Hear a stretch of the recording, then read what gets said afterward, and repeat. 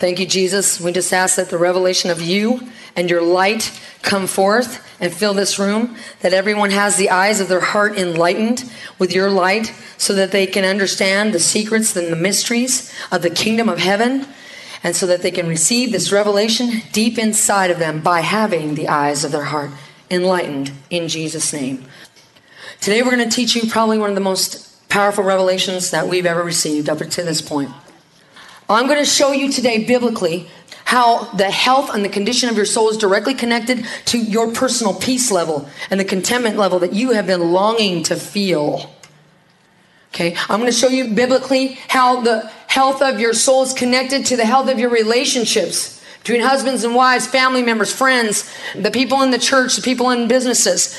I'm going to show you today how the health of your soul will directly affect your level of dominion over demonic powers. That when you get healing in your soul, your level of dominion will completely leap up in its authority. I'm going to show you today how the healing of your soul is directly connected to your financial increase. The increase in the blessing that you've been waiting for, believing God for, and He said it's going to come, is being held up because you have woundedness in your soul that hasn't healed yet. I'm going to show you biblically how the healing of your soul can be directly connected to the supernatural healing of your body that you've been believing for.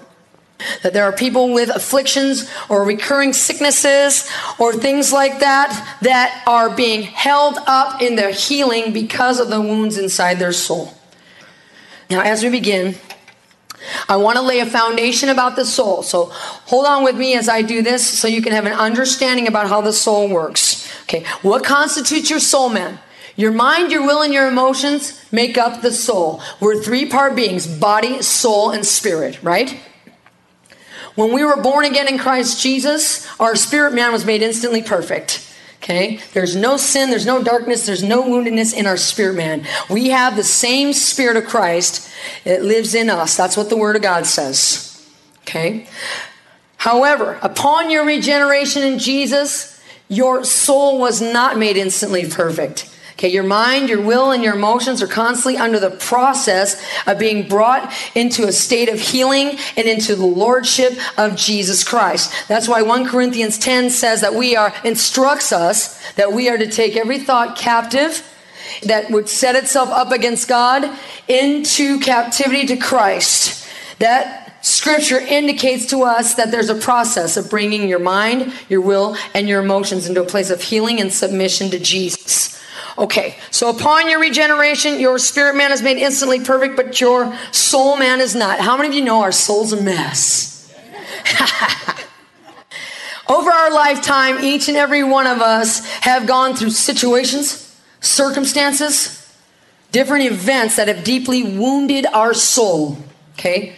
Now, the wounds on your soul can completely affect your peace level and the way you feel every day inside yourself. Okay? Because the wounds on your soul can affect the way you think, they can affect your mind. The way you think cause you to take wrong actions, make wrong decisions. The wounds in your soul can affect your will, your ability to choose right and wrong. The wounds on your soul can affect your emotions. They can cause you to have unhealthy, unbalanced, even dangerous emotions like depression, anxiety, loneliness, jealousy. Have you ever woke up one day and just said, like, man, what is going on? And you just feel miserable? And you're thinking, what is that, God? It's more than likely you're feeling an effect of a wound that's inside your soul. The wounds on your soul are what can cause strife and contention between husbands and wives, family members, friends, loved ones, church members, people at work. You see, when people have wounds on their soul from events that happen throughout their life, what happens is this is they begin to speak to other people out of the bitterness of those woundings. Listen to proof from the book of Job in chapter 10. This is Job speaking. He said, I am weary of my life and I loathe it. I will give free expression to my complaint. I will speak in the bitterness of my soul. Okay, do you remember what happened to Job? His entire family and everything he owned was completely wiped out. Do you think that those events could leave wounds on his soul? You bet they did. Okay, and now Job was lashing out at God and his friends who were trying to console him out of the bitterness that was in his soul. The wounds in your soul can cause trouble between people, between you and your spouse, your children, your friends, your people at church. It's all coming out of the woundedness in your soul. People are speaking to each other out of the bitterness that's in their soul. And you know what? Half the time, the stuff they're saying to another person doesn't have anything to do with that person. It has to do with a wound that happened to the, to the person who's speaking way back when in their life. Okay, the wounds on your soul, man, were created by sin. Someone either sinned against you or you sinned against yourself. Maybe someone sinned against you. They, they verbally abused you or they molested you or they rejected you. Okay, or maybe you sinned against yourself. You committed adultery. You got um, involved in drugs or alcohol or, or watching pornography. Either way, it's sin that creates the wounds in your soul, man. Now, listen to what Mark 9 says about this to prove it. It says this, and I'm reading from the Amplified If your eye causes you to stumble and sin, pluck it out. It's more profitable and wholesome for you to enter the kingdom of God with one eye than with two eyes to be thrown into hell, where there worm which preys on the inhabitants. And listen to this and is a symbol of the wounds inflicted on a man himself by his sins, does not die. Okay, this scripture is talking about wounds and where they're at. They're on your soul. How do I know that? Because it's talking about your eye, right? If your eye causes you to stumble and sin, pluck it out.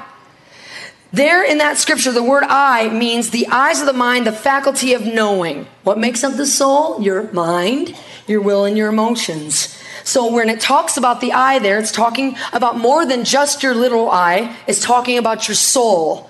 Okay, haven't you ever heard the phrase, the eye is the window to the soul? Okay, so it's talking about your soul and it's talking about how the wounds get on your soul. The scripture says, quote, that there's a worm in hell which preys on the inhabitants there and is a symbol of the wounds inflicted on the man himself by his sins. According to scripture, that's how the wounds got there. Someone sinned against you or you sinned against yourself. It's so cool that the scripture calls those sins and the wounds that they create worms because what's a worm when it gets into your into your intestines? It's a parasite.